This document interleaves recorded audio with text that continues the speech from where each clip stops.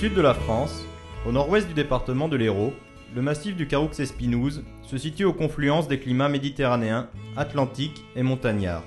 Ce site préservé abrite des richesses naturelles infinies. Sur ce territoire, une réserve nationale d'environ 1700 hectares a été créée en 1973. Son but premier était de favoriser l'acclimatation du mouflon, dont les populations étaient menacées dans son habitat originel de Corse, de Sardaigne et de Chypre.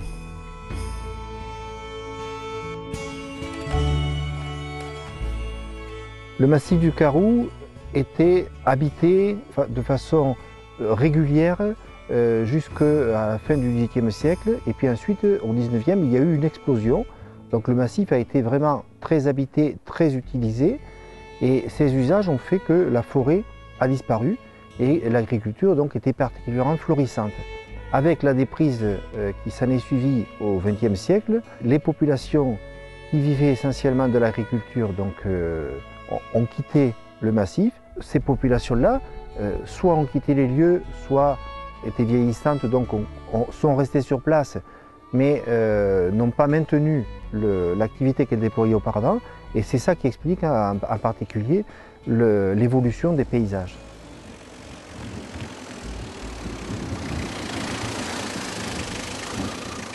Le travail que je mène euh, actuellement à l'Office national de la chasse et de la faune sauvage est un travail qui est centré sur le massif du Caroux espinouse et plus particulièrement sur euh, le mouflon et sur la gestion de deux espaces protégés, la réserve nationale de chasse et de faune sauvage et euh, l'arrêté de protection de biotopes.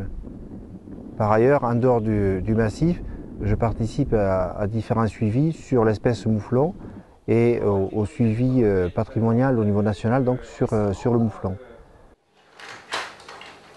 La méthodologie donc, qui est appliquée systématiquement sur les espaces protégés de, l'Office concernant l'examen de l'état sanitaire des animaux.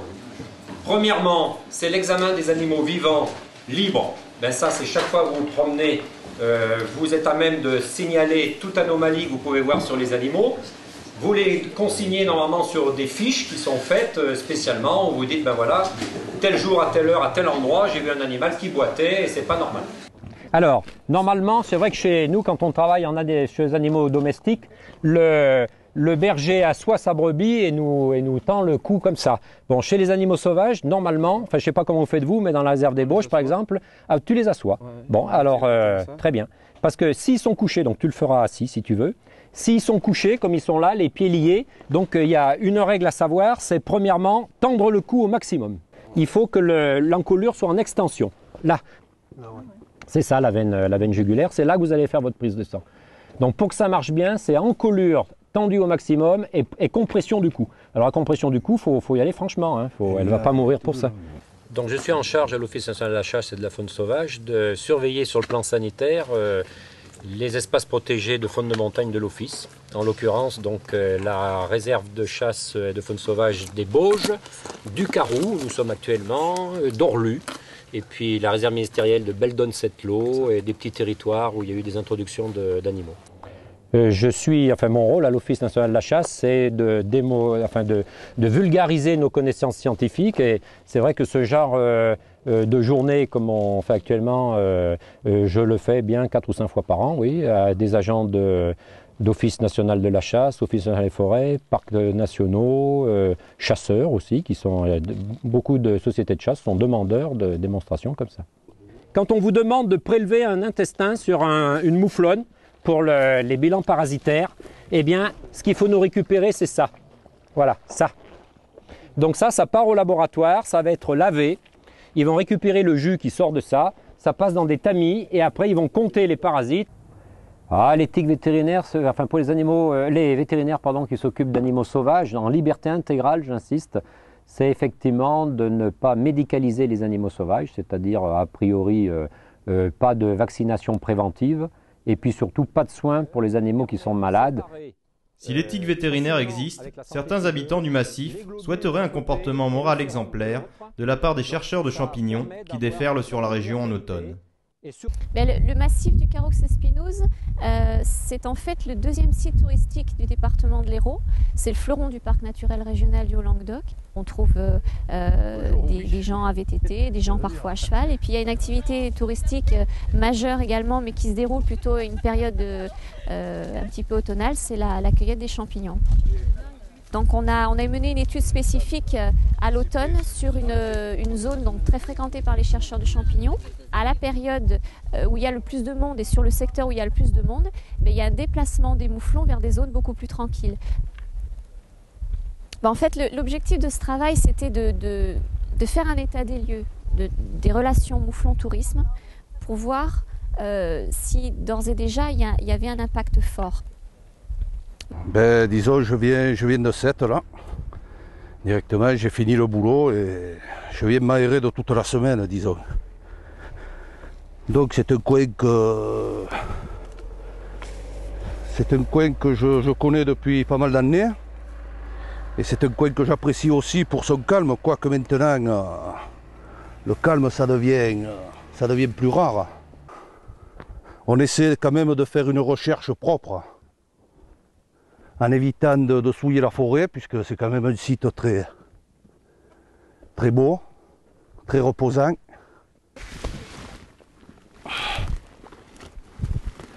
Ça, c'est des lactaires, des lactaires délicieux. Mais ils sont fatigués, ceux-là. C'est quand même un bon champignon, mais ils sont fatigués. Donc, alors, autant les laisser. Si c'est après pour les jeter à la maison, ça vaut pas la peine. Alors, vous voyez, c'est les amanites tumouches, ça, les amanites muscaria. Quand ceux-là ils sortent, en principe, les, les cèpes sont pas loin, mais c'est pas. C'est pas une science exacte. Enfin, quand même, une légère récompense.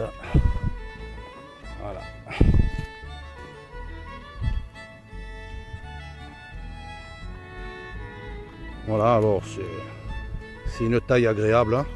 C'est pas euh, un super champignon, mais bon, c'est pas mal. Avec le petit au pied. L'automne, c'est également la période de la chasse. Dans le cadre d'une étude sur les maladies du mouflon, certains agents de l'Office national des forêts participent au tir sanitaire de quelques individus. Il s'agit d'une étude globale sur l'ensemble du gros gibier de montagne en France. Dans le Caroux, on s'intéresse aux maladies responsables d'avortement chez le mouflon, ainsi qu'à la possibilité de transmission de maladies parasitaires entre les ongulés sauvages et les animaux domestiques. disons que bon, euh, ici on peut le trouver n'importe où. Hein. Donc euh, aujourd'hui il faut essayer de chercher dans les endroits un peu à l'abri, en sous-bois de préférence, et sur les zones de gagnage jusqu'à 10 heures. Quoi, hein. Après, euh, si le temps reste comme ça, à cette époque-ci le rut a commencé, bon, il y a des mouvements d'animaux c'est irrégulier dans la journée, euh, ça bouge euh, aussi bien le matin, le soir. Euh, on peut rencontrer des animaux toute la journée. Sur, tout le massif de, l'Hérault, le mouflon est, à peu près couvre une étendue de à peu près entre 15 et 20 000 hectares. Donc il y a, il y a un GIEC qui est, qui est créé, dont l'office fait partie. Et donc l'ONF bénéficie d'un plan de chasse, mais toutes les communes euh, qui possèdent du mouflon sur leur territoire possèdent aussi un plan de chasse qui est exploité de la même façon. Depuis le début de la semaine, je suis ici depuis lundi, on est vendredi aujourd'hui. On a abattu déjà 5 animaux, puis un qui a été abattu la semaine d'avant, ça fait 6.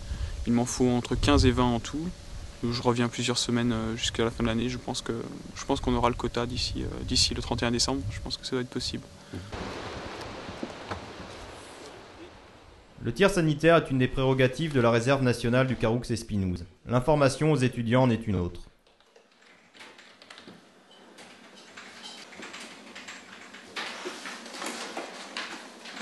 S'il y avait énormément de braconnage, euh, la population ne serait pas ce qu'elle est actuellement. Et les, gens localement, si tu veux, n'ont pas tellement intérêt à braconner, euh, à braconner le mouflon, puisqu'en fait, ils en retrouvent, une, ils en retrouvent quelque chose au niveau financier on, ne cherche plus à savoir combien on a euh, de mouflons, mais à savoir comment ils évoluent. C'est-à-dire, est-ce que la population, elle augmente, elle baisse ou elle stagne? Mais on ne va pas... C'est pour ça que tout à l'heure, je vous disais qu'on a à peu près 1500 ou 2000. Et je ne vous ai pas dit, on en a 1547. Non, ça, on ne le sait pas et on ne le dira jamais. C'est pas le, le, pas ce qu'on veut savoir. On veut savoir comment la population se porte.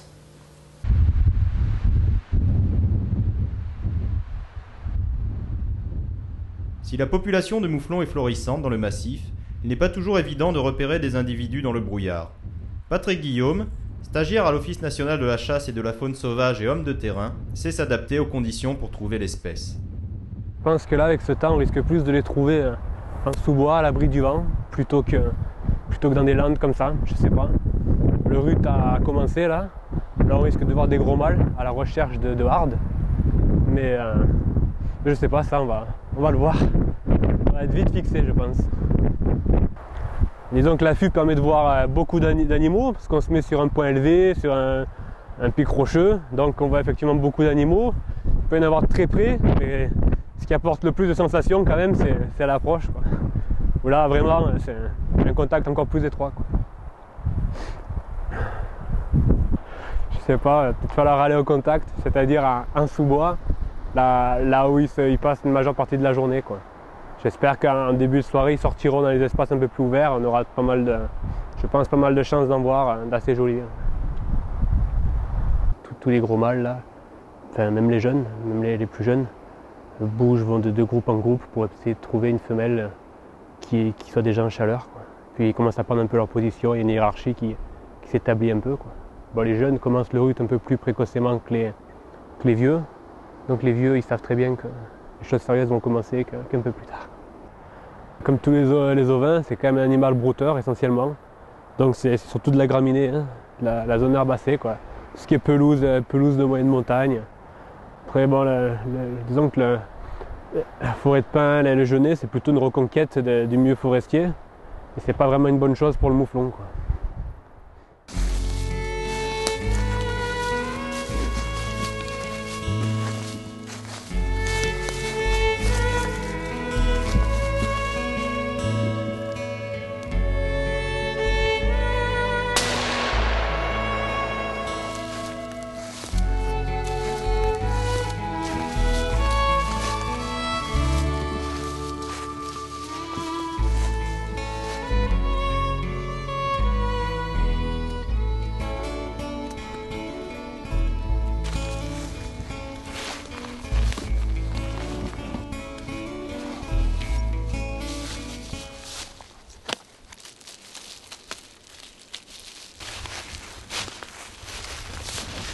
Une femelle. Donc là, je, je l'ouvre parce que je dois faire des prélèvements. Donc je vais prendre garde à pas trop abîmer la mamelle puisque comme c'est une femelle, je vais faire un prélèvement de tissu mammaire. Donc on peut voir qu'elle est un peu grasse. Donc maintenant je vais pénétrer dans la cavité thoracique pour prélever du sang.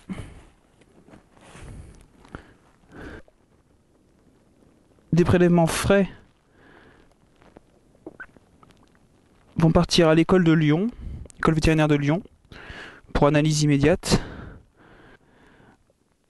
L'étude que je fais actuellement, se porte sur les maladies responsables d'avortement, mais sur les maladies qui sont non réglementées, puisque certaines maladies euh, en matière vétérinaire ont des lois bien définies, mais une maladie très connue euh, chez les éleveurs et les vétérinaires qui, cause d'avortement et la brucellose est une maladie qui est très réglementée, mais d'autres maladies qui sont également responsables d'avortement qui sont moins fréquentes, mais en plein essor et tout aussi euh, préjudiciables pour les élevages, n'ont pas de, de loi bien définie les concernant. C'est bon, voilà. Novembre est la période privilégiée pour chasser l'espèce car le rut bat son plein. Beaucoup de gens euh, confondent le mouflon avec le bouquetin. Et euh, les gens ont à l'esprit le- les combats de bouquetins dans les Alpes, les affrontements spectaculaires euh, qui sont passés à la télévision régulièrement. Chez le mouflon, c'est un petit peu moins spectaculaire, c'est-à-dire que les mâles ne se euh, dressent pas sur la patte arrière pour euh, s'affronter. Ils s'affrontent donc en, courant ou bien en étant immobiles l'un face à, face par contre, les coups de corne sont très forts et on les entend euh, dans la vallée. c'est vraiment euh, quelque chose qui s'entend de très loin. Alors cet affrontement se prépare, c'est-à-dire qu'à partir euh, de la fin du mois de septembre, les mâles reviennent dans la vallée qui les a vus naître et qu'ils avaient quitté au printemps pour aller dans des zones un peu retirées. Donc tous les mâles se retrouvent dans, ces vallées où les groupes de femelles sont dominants. Et à, partir de ce moment-là, commence un petit peu le jaugeage des individus, c'est-à-dire que euh, chacun fait démonstration de sa force. Alors il est évident que les vieux mâles sont privilégiés, puisqu'ils sont mieux préparés euh, physiquement au, combat, mais les très vieux mâles n'apparaissent que dans la première quinzaine de novembre, à la période où ont lieu le maximum de saillies. Et par contre, donc, après cette période euh, intense de reproduction, euh, les autres mâles euh, saillissent les, femelles qui étaient plus jeunes et dont l'ostrus démarre un peu plus tard.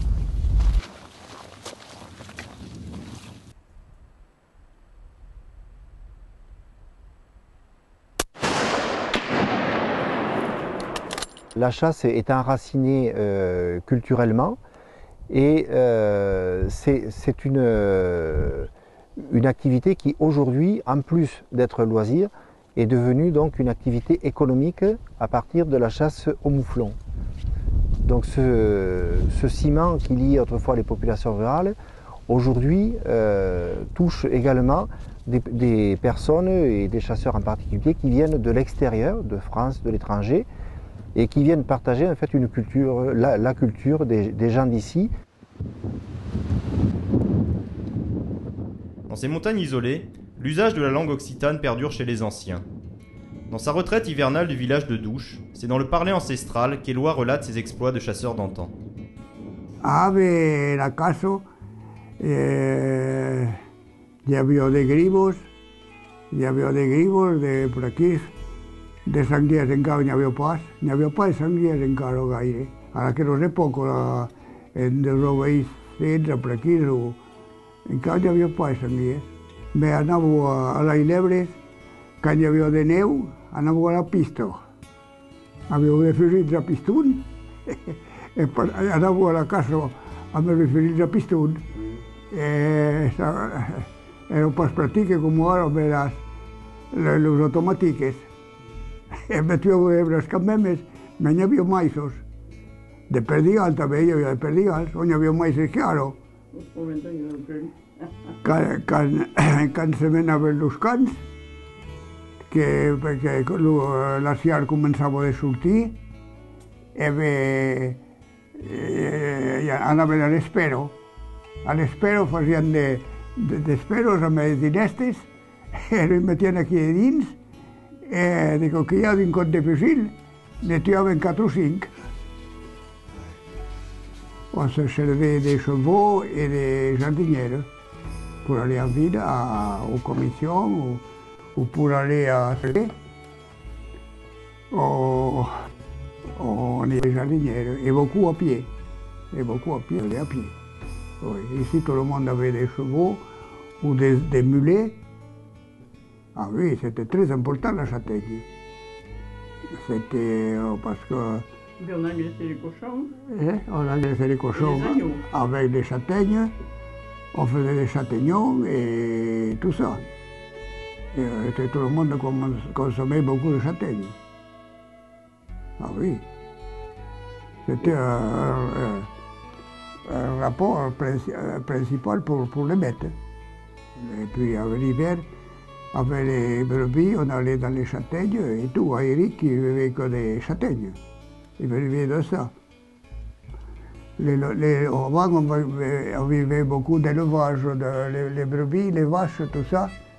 Et à ce moment-là, je ne sais pas, les gens ne sont pas voulu rester. Ils sont allés, travailler. Euh, oui. Mais, mais à ces, à ces époques-là, tout le monde, il y en avait beaucoup ici à Douche qui avait des vignes, ils allaient, avaient des vignes, on allait travailler au tourelle et on, on avait du vin. On avait du vin, même il y en avait qui vendaient du, du vin. L'hiver touche à son terme. Avec le retour des beaux jours débutent les études scientifiques. Un inventaire des micro-organismes des ruisseaux est en cours afin de pouvoir déterminer la quantité de nourriture disponible pour la faune piscicole, notamment les truites, espèces très prisées des pêcheurs dans ces contrées.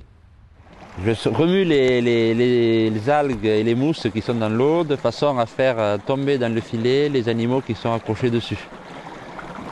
Donc ils sont emportés par le courant et ils tombent au fond de la poche du filet sans trop détruire le, milieu. On va remuer aussi un petit peu le sédiment. Oui, alors comme animaux, ben, il y a surtout des larves d'insectes qu'on va trouver, donc des indicateurs d'eau pure, notamment ici, avec des éphémères, des, larves de perles, des trichoptères, et puis des acariens aquatiques, des crustacés. Donc la faune euh, classique des cours d'eau en, haut de, rivière, disons, près de la source. hein.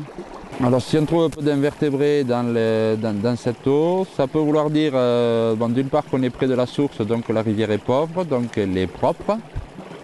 Ensuite, euh, ici, comme on est au sortir de la forêt de résineux, ça veut dire qu'éventuellement il peut y avoir une influence euh, de la sédimentation des aiguilles de résineux sur le fond du cours d'eau. Puisque les, les- produits euh, issus des résineux engendrent un certain nombre de composés chimiques qui sont estimés toxiques pour la faune et en particulier pour les poissons.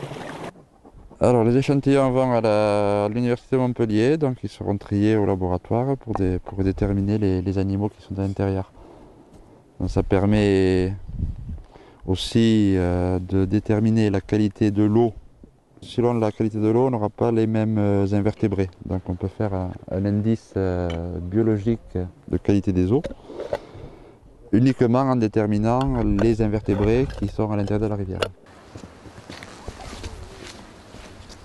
Le regard de l'entomologiste se fixe sur le sol. À la même saison, l'œil de l'ornithologue est plutôt attiré par le ciel. Alors aujourd'hui, on va essayer euh, d'observer le, faucon pèlerin sur le site des Gorges d'Éric. Donc ici, on a le potentiel pour avoir euh, juste un couple nicheur. Ça reste une espèce assez discrète. Si l'ornithologue est débutant, je lui conseille de, de garder des distances au départ, prendre du recul dans sa, dans sa démarche et d'observer les oiseaux à distance. Donc pour cela, on a aidé justement euh, d'instruments comme euh, les jumelles ou- les télescopes. Et après, donc, en fonction également de la saison, qu'il soit très prudent euh, pendant la nidification. Euh, L'observation d'un rapace n'est pas toujours aisée. C'est des oiseaux assez farouches et assez discrets. Et euh, surtout euh, sur un site grandiose comme ici. Alors le, faucon pèlerin euh, en général est, est ornithophage, c'est-à-dire qu'il mange principalement des, des oiseaux. Donc euh, les oiseaux qu'il capture euh, surtout en vol. C'est un chasseur de, de haut vol euh, principalement. Et partout en fait.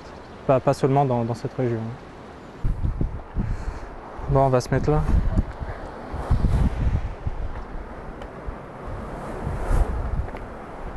Ce sera pas mal là.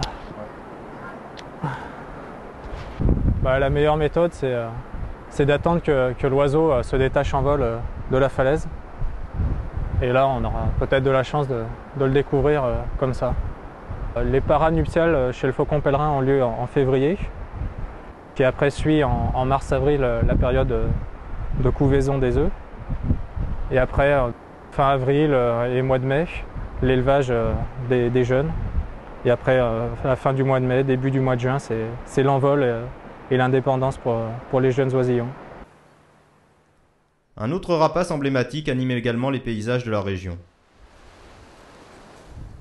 Alors l'aigle royal existe depuis très longtemps sur le massif, contrairement à euh, une certaine rumeur qui euh, euh, voudrait qu'il a été réintroduit. On a des écrits du 19e siècle qui attestent que l'aigle royal était présent. Euh, il a toujours cohabité avec l'homme et avec ses activités. Et aujourd'hui, c'est une espèce emblématique, c'est une espèce qui qualifie euh, le, site, le massif. Donc sa présence signifie qu'effectivement, il y a une richesse qui lui permet de, vivre ici. Donc le, le couple présent est, est stable, euh, année après année, et euh, sa reproduction a tendance à s'améliorer ces dernières années. Certaines espèces autochtones sont connues depuis des temps immémoriaux. D'autres vont apparaître sur le massif par des introductions humaines. L'histoire du tarpan est complexe. C'est un cheval sauvage donc, euh, qui, pareil, a été oublié. C'est un des oubliés de, l'histoire, mais qui a habité la, région et dont les derniers survivants euh, ont trouvé refuge aux confins de la Pologne et euh, de la Russie. Donc actuellement se pose le problème de la gestion des habitats, en particulier du développement des ligneux qui est en train de fermer le paysage. Et les ongulés euh, qu'on a actuellement sur la, région ne permettent pas une maîtrise efficace de euh, cette végétation-là. Et nous avons choisi de faire venir quelques individus de, cette espèce et de les mettre en liberté euh, surveillée, disons, dans une propriété de l'Office national de la chasse et de la faune sauvage.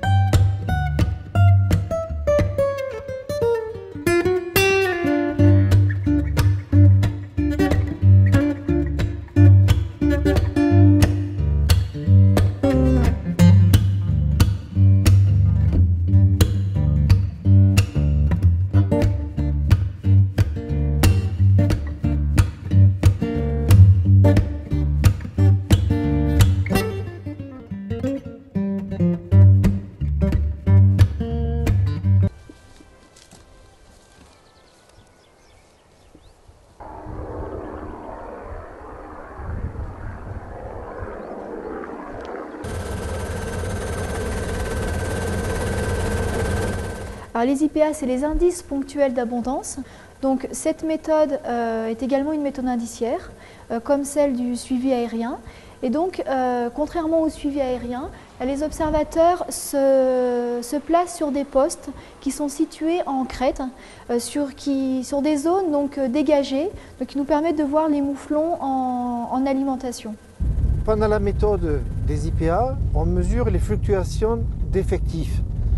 Mais cette information-là n'est pas euh, suffisante en soi si on s'intéresse à la relation entre le mouflon et son environnement. Donc d'autres paramètres doivent être euh, mesurés. Ce sont les bioindicateurs. On est en train de mettre au point euh, des, bioindicateurs donc sur, le, massif du, Caroux espinouse qui vont nous permettre de, voir, euh, de connaître un petit peu l'état, euh, la condition physique des, animaux et l'état de reproduction des, femelles. Les, deux méthodes, que ce soit les, IPA ou le, suivi aérien, montrent que la population de mouflons stagne sur le massif du Caroux espinouse.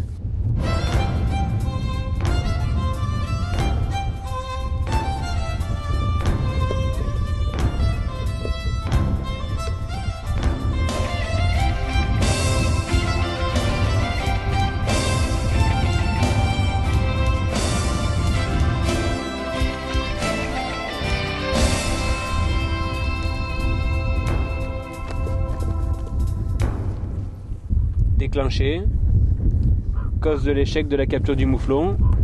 Espèce capturée. Heure de la capture. Sur certaines trappes, on a un système, euh, sorte de réveil en fait, qui nous indique l'heure à laquelle le système est déclenché.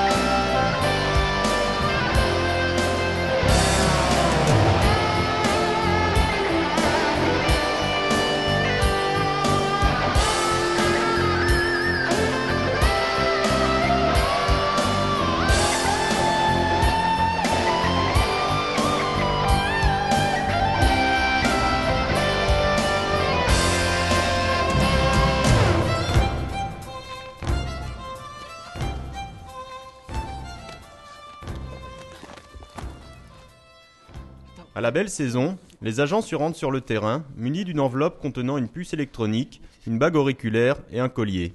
L'objectif est de capturer quelques mouflons, de les équiper afin de les suivre leur vie durant. Cette méthode permet, entre autres, de connaître l'âge des reproducteurs, leur déplacement, et de livrer ainsi des informations précieuses sur l'organisation sociale des mouflons. Ça ne doit pas trop les stresser puisque des collègues l'ont capturé hier et il est de retour dans la trappe aujourd'hui. Quoi. Donc avec toutes les manipulations que ça a imposé, puisque hier ils y ont posé un collier, euh, ils ont fait des prélèvements et ils ont mis une boucle d'oreille.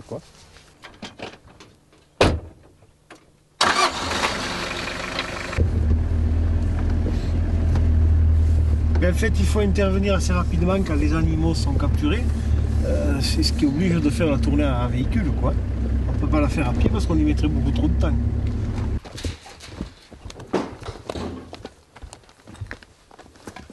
Ça va être mal à mon avis, avec les cornes qu'il a.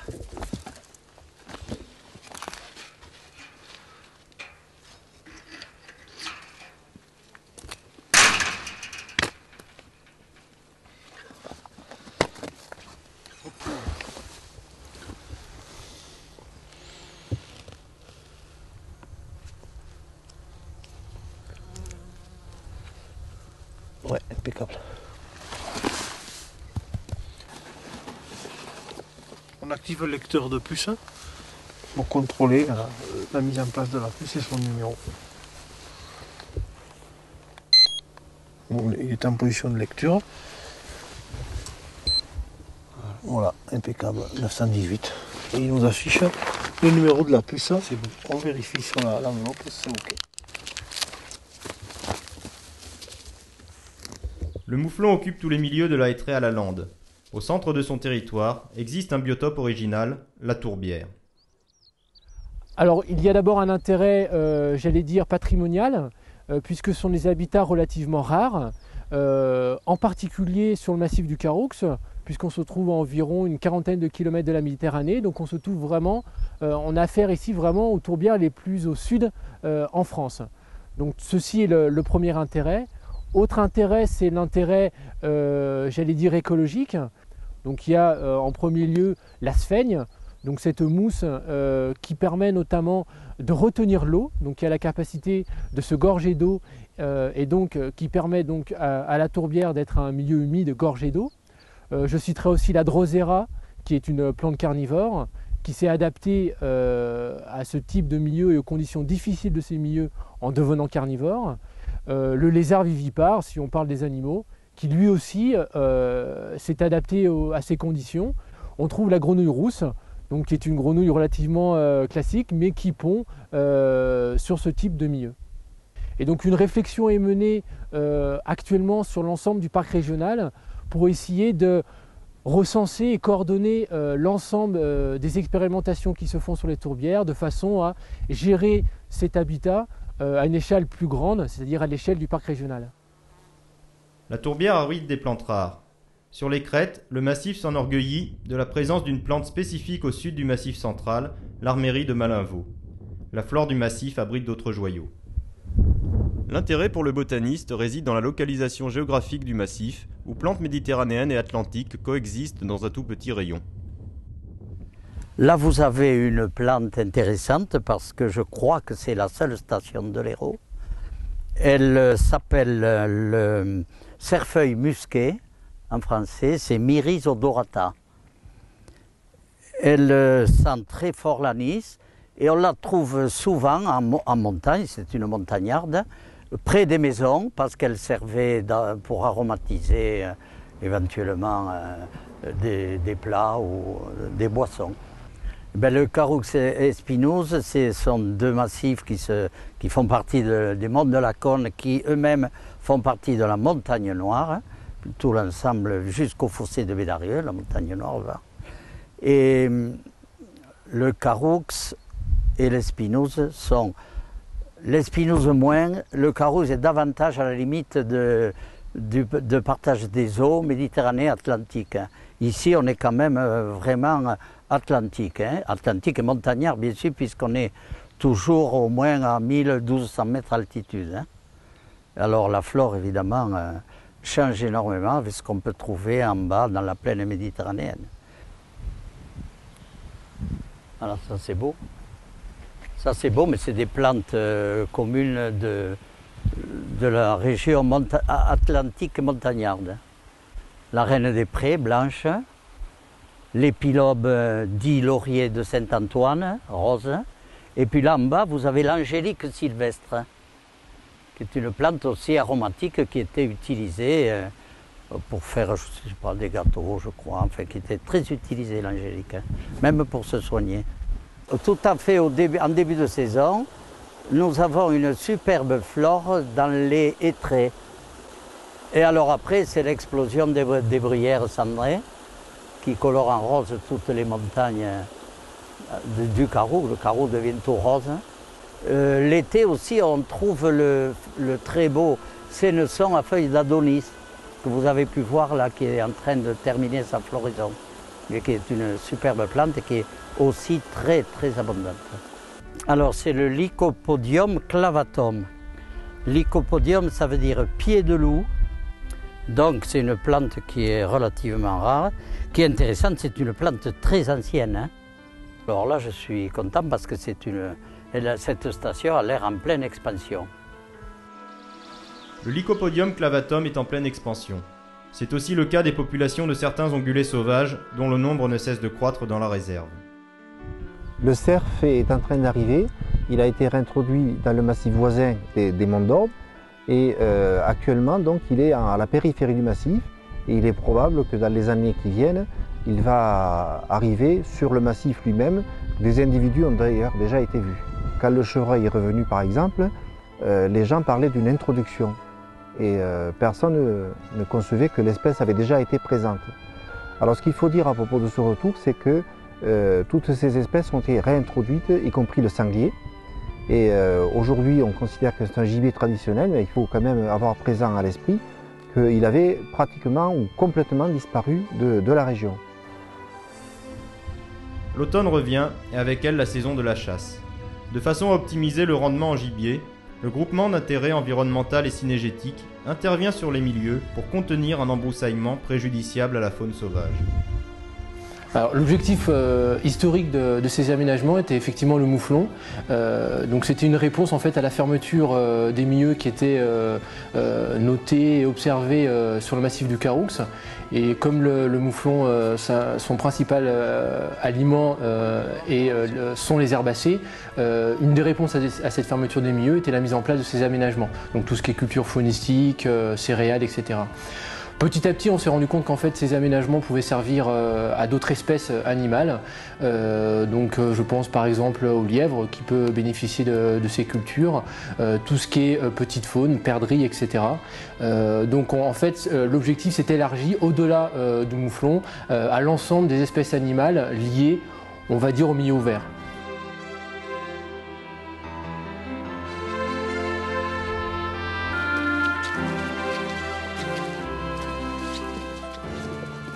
Ces régions dépeuplées, l'activité de guide de chasse permet aux jeunes de rester au pays. Aujourd'hui, Michel accompagne deux chasseurs venus du lointain département des Ardennes à la recherche du mouflon entre Landes et Garrigues.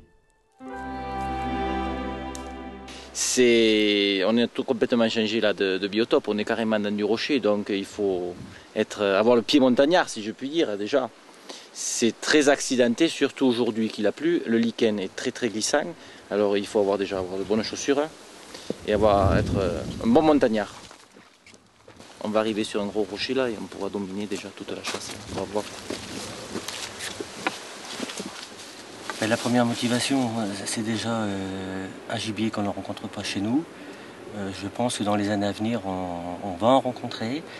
Déjà, dans la première, euh, la première réflexion, la deuxième réflexion, c'est le biotope euh, qui vraiment pour nous est exceptionnel. Nous qui venons des, des grandes plaines, je dirais, qui ne sommes pas habitués à marcher forcément dans, ce relief euh, relativement montagneux.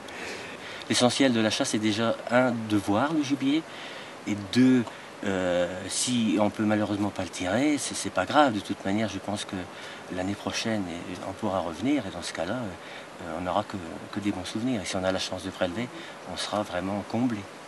Le soir, nous, on fait plutôt de l'affût. On laisse bouger les animaux comme ils bougent plus tard le soir.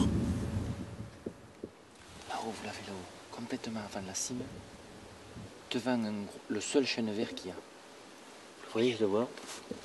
Il tourne, il tourne la tête là. Voilà, exact. Vous voyez Je vais vous dire Avec une belle selle blanche. Euh, les quelques mouflons qui se tuent euh, de temps en temps sur euh, le massif primaire ardennais, c'est-à-dire le long de la frontière belge, est une population qui vient de Belgique, de par la vallée de la Semois.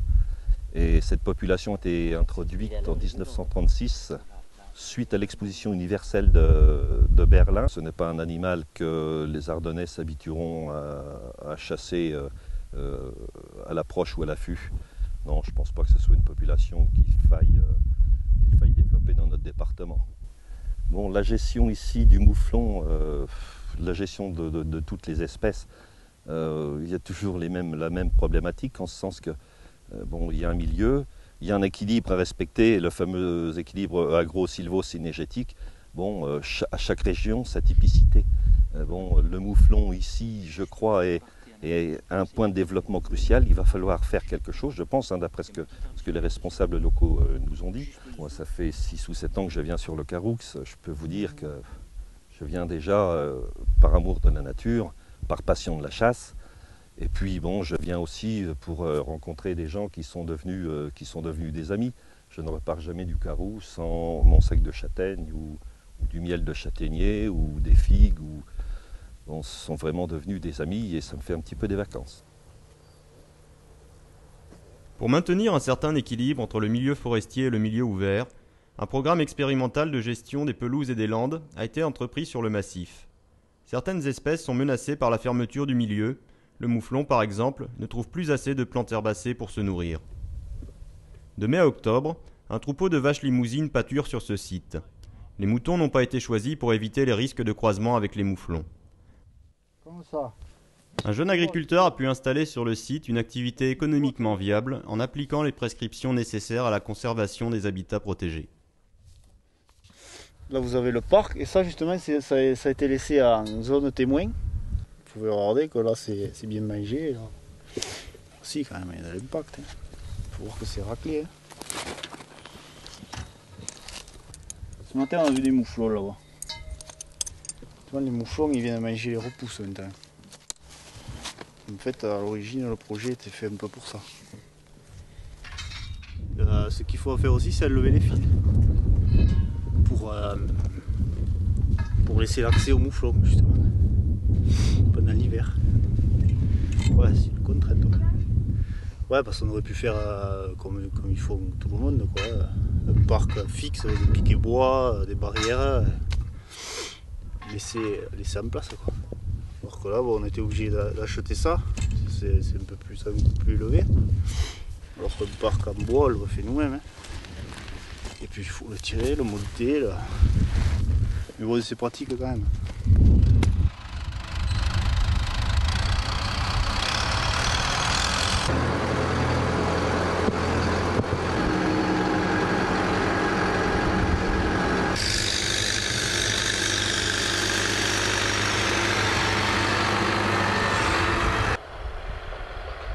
La, réserve, pour quelqu'un qui y vit euh, au quotidien, c'est un espace qui est continuellement en changement. hein. Euh, souvent, les gens disent, mais euh, vous travaillez là depuis de nombreuses années, c'est toujours pareil.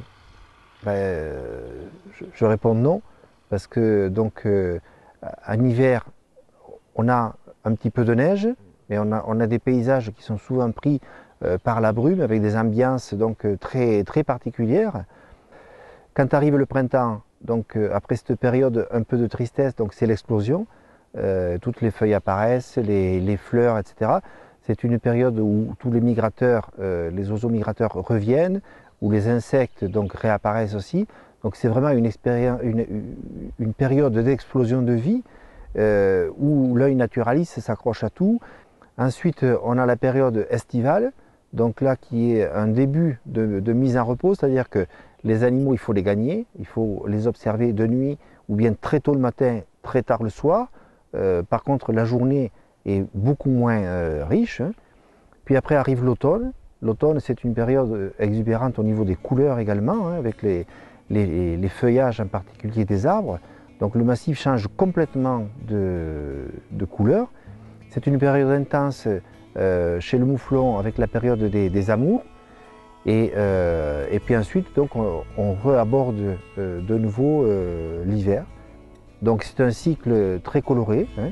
Le fait que le massif soit également à un carrefour climatique fait qu'en fait les éclairages changent continuellement. Et pour l'œil exercé, l'œil euh, un petit peu artiste, euh, si vous vous amusez à regarder euh, une vallée par exemple ou un site rocheux, ben, suivant l'heure de la journée, suivant la saison, suivant la chaleur, hein, la température ambiante, ben, vous ne le verrez jamais pareil. Donc c'est vrai que on ne s'ennuie jamais dans le massif du Caroux Espinouse.